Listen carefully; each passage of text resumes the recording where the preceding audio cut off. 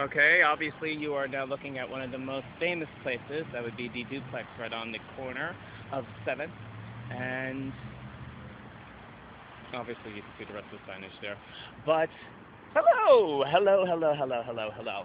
I'm recording this because actually I feel like I should go into the details of how how this rumor got blown out of proportion.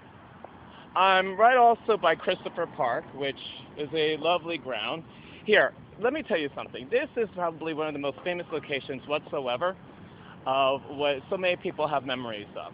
But obviously, if you remember this statue, I have a picture that is from so many eons ago, where I was 18 years old and I came here for my birthday. How, over a decade later, here I am now whistleblowing the entire Greenwich Village area. Not to mention that actually also the whole Cazwell incident that happened right over here. Now, how can I say how this went along? Well, let me walk you through it. Walking you through it is probably the best way to go about it.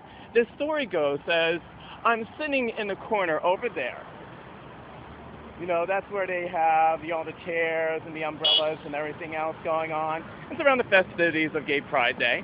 And out of the corner, out of this subway right here, we had Mr. Cazwell walk all the way from all the way over there, walk straight down this line as you see my finger walking this way, walk all the way down to over to the duplex.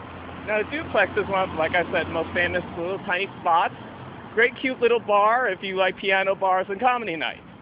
Well, that day there was a comedy show going on, and actors know actors and all. So Cazwell comes briefly by, and how did I know? Because I was sitting right here at this little tiny location. Comes all the way this way, coming all the way down, and does one of my favorite terms, what I love to call dropping. And as I say, actors know actors and people talk. Since I was the new meat in town, decided to open his mouth and drop a couple of things. Now, I can understand it's not a big deal, but when you start talking about gang rape and all, then I have a little tiny problem. I'm going to call your ass out on it and make you look like an asshole. See, that's what most people don't like. And then they turn around and say, eh. Well, see, that's the problem. You start it, and then somebody puts you back in your place. It's about being overall on the right, and I have a big problem with it.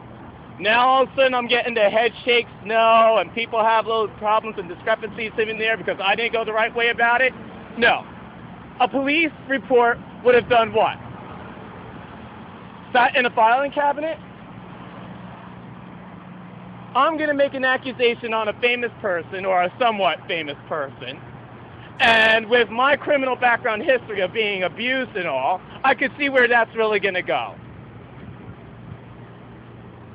So what do I do? I put it all over the internet so everybody else can sympathize with it. Not to mention, whistleblow the fucker. It's about time somebody does. And this is how you put people back in their place. You embarrass the shit out of them. And who would have known that actually it would have made me involved to do something like this? Cazwell! I got a back to cry with you! And you know what? I love the comments that I'm getting. Give me the attention! Play! Yeah, I heard you Works good with every soft time. lips. What Yeah, a great know word of performance it The square root of 69 is That's the point. right? Cause I've It's a to it performance. Ah, good weed, But it needs to be said. Uh, I come alive needs in to the be shown. nighttime. Yeah. Okay, And truthfully, Only thing we I'm getting quite is tired of talking about it. Oh, But until I get what I want, which is a I know you scandal. You just I don't think anybody's ever gonna stop talking about it. Because it looks like they're gonna have to whistleblow it. Wear it out. It's getting hot, crack a window, air it out. Oh well. A mighty long day. Soon as you go, the text that I love that part.